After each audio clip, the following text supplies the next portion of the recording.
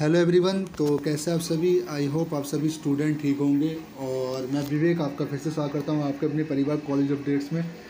तो देखिए, मुझे काफ़ी ज़्यादा मेरे यूट्यूब पर भी कमेंट मुझे मिल रहे हैं और फेसबुक पर भी मिल रहे हैं, मेरे फेसबुक वाले ग्रुप पर भी मिल रहे हैं और टेलीग्राम वाले चैनल पर भी मिल रहे हैं। तो ये मान के चलिए, सबसे ज़्यादा यही क्वेश्चन आ रहा है कि सोल स्टूडेंट के साथ आखिर इतना भेदभाव क्यों किया जा रहा है? मैं ऐसा क्यों कह रहा हूँ, उसका भी रीज़न बताऊँगा। और आप आप सभी को पता होगा कि आज जैसे कि चार जून यानी चार तारीख हो चुकी है और एग्ज़ाम आपके सात जून से स्टार्ट होने वाले हैं। ठीक है? पहले गाइडलाइंस आई, बहुत अच्छा लगा। डेट शीट आई, काफ़ी अच्छा लगा। एडमिट का कार्ड आया, दिल को सुकून मिला। पर जब हम ओ रजिस्ट्रेशन जिसे ओपन बुक एग्जामिनेशन के पोर्टल के नाम से जाना जाता है जिसे गाइडलाइंस में भी दो लिंक के तौर पर उन्होंने बताया था। तो चलिए देखिए एन सी वेब और रेगुलर का जो पोर्टल है, वो तो स्मूथली काम कर रहा है। पर जो एस ओ एल का जो पोर्टल है, वो भी पोर्टल जिस पर रजिस्ट्रेशन होना है, जिस पर एग्जामिनर एग्जामिनेशन होना है, जिस पर एग्जामिनर को सीट अवेलेबल होगी स्टूडेंट द्वारा, वो पोर्टल ही क्रैश है। वो मतलब टेम्परली ये देखिए, जब इस पर खोला जाता है, इसे ओपन किया जाता है तो क्या आता है? पाँच सौ तीन सर्विस टेम्परेली अनेबल। एक बार बताइए, जब सर्विस टेम्परेली अनेबल ही करनी थी तो आपने क्या एडमिट कार्ड झक मराने के लिए अवेलेबल का करा दिए? आज स्टूडेंट को तुमने एडमिट कार्ड दे दिए और ये साइट अभी तक भी स्टार्ट नहीं हुई। तो ऐसा पिछले दो से तीन दिन तक तो ये चल ही रहा है, ठीक है? बाकी सात जून से एग्ज़ामिनर, एग्ज़ामिनेशन आपके स्टार्ट होने वाले हैं। तो अब स्टूडेंट यही मुझसे पूछ रहे हैं कि, सर, हम करें तो करें क्या? क्या हम एन सी वाला जो रेगुलर वाला पोर्टल है उस पर रजिस्ट्रेशन करा ले। देखिए, उसका जो लिंक है, उसका जो पोर्टल का नाम है, वो है O B dot D U dot U O D dot A C dot in उस पर आपका रजिस्ट्रेशन नहीं होगा। जितने भी एस ओ एल के स्टूडेंट हैं, ये बात सुन लो ध्यान से। अगर आप उस पर रजिस्ट्रेशन करा रहे हो तो बहुत बुरा कर रहे हो।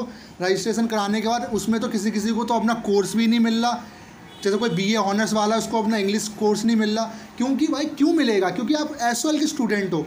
वहाँ आपको सारा आपकी आईडी भी इनवैलिड बताएगी आपका रजिस्ट्रेशन भी इनवैलिड बताएगा। बाकी ये जो पोर्टल है ये जो मैंने लिंक आपको दे रखा हूँ SOL O B dot U O T dot A C dot in इस पोर्टल पे ही आपका रजिस्ट्रेशन हो, होना है।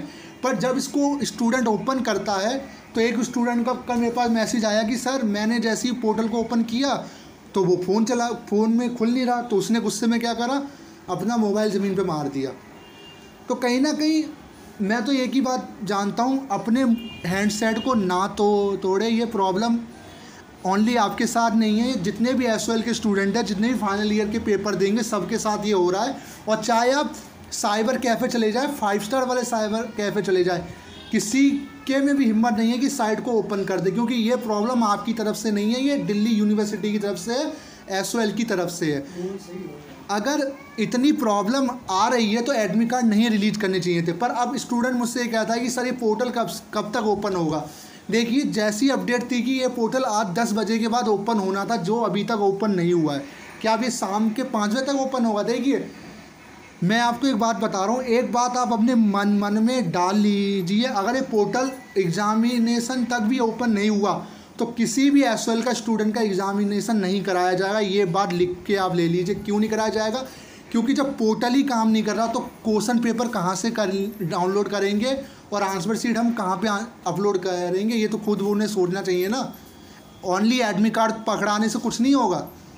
बाकी मुझे जहाँ तक मेरे, मुझे जहाँ तक मुझे इन्फॉर्मेशन मिली है, ये पोर्टल आज ही वर्किंग करने लगेगा वर्क करने लगेगा, शाम तक ही वर्क करने लगेगा, अगर नहीं करने लगा तो कल से दो दिन बच जाएँगे। अगर ये ऐसा भी हो सकता है कि एग्जामिनेशन से एक दिन पहले का टाइम दे दे तो उस टाइम पे तो और हालत इसकी बुरी हो जाएगी, क्योंकि एक ही साथ एक लाख स्टूडेंट जो एस में पढ़ता है, एक बार में इस पोर्टल पे हिट करेगा, जिससे और ये क्रैश हो जाएगा। तो अब ये पता नहीं क्या होगा, बाकी इतना आप याद रख लो, अगर पोर्टल वर्क नहीं करता है लास्ट के एक दो दिन में तो आपका एग्ज़ामिनेशन पोस्टपोन्ड होना निश्चित है। क्योंकि जब कोई स्टूडेंट रजिस्ट्रेशन नहीं करवा पाएगा तो वो पेपर किसका लेंगे? ठीक है, बात आप ये मान के चलो, आपको कोई पैनिक नहीं होना, घबराना नहीं है फ़ोन को नहीं तोड़ना है। घर में बैठिए, जैसी पोर्टल ऑन होगा टेलीग्राम चैनल पर मैं बता दूँगा, बाकी यूट्यूब के द्वारा भी मैं आपको इन्फॉर्मेशन दे दूँगा।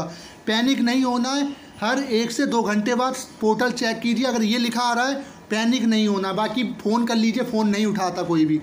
इनकी सर्विस सबसे घटिया कोई फ़ोन उठाने वाला नहीं है, नंबर अवेलेबल करा रखे कोई जवाब देने वाला नहीं है।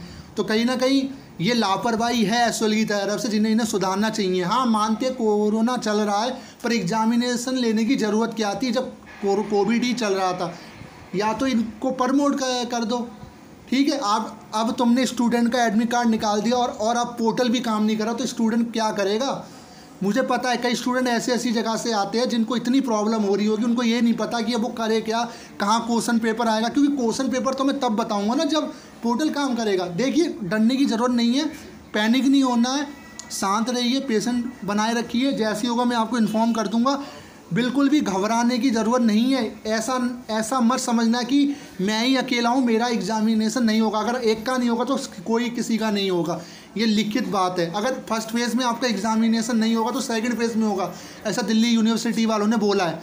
तो घबराने की ज़रूरत नहीं है। जैसी पोर्टल ओपन होगा, मैं इन्फॉर्म करूँगा। बाकी मैं एक छोटी से छोटी अपडेट आपको दे रहा हूँ। चाहे दिल्ली यूनिवर्सिटी की तरफ़ से कोई भी अपडेट आती है, चाहे प्रमोट को लेके आती हो फ़ीस एक्सटेंड को लेके आती हो, या पोर्ट मैं आपको बताऊँगा। बाकी डरने की बिल्कुल ज़रूरत नहीं है।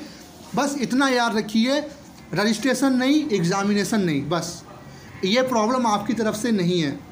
ठीक है?